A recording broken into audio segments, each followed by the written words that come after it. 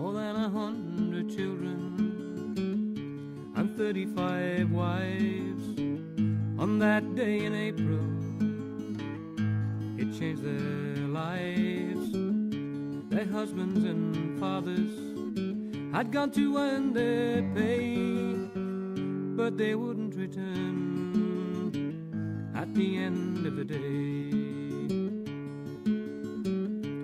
be a miner takes a certain kind. Got to breathe in the black dust and close off your mind. Cause if the earth wants you, and it can anytime, you ain't got no chance at the bottom of a mine.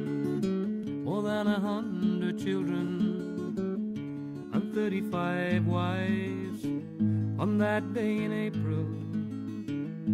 It changed their lives. Their husbands and fathers had gone to earn their pay, but they wouldn't return at the end of the day.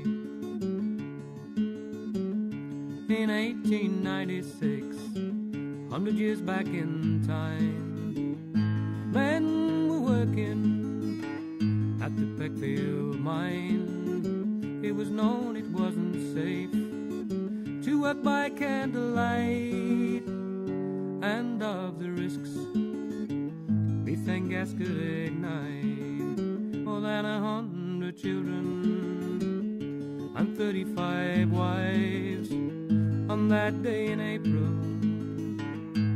It changed their lives. Their husbands and fathers had gone to earn their pay, but they wouldn't return at the end of the day. There was a mighty explosion deep underground, men dead and dying laid all around. Have we learned lesson of yesterday?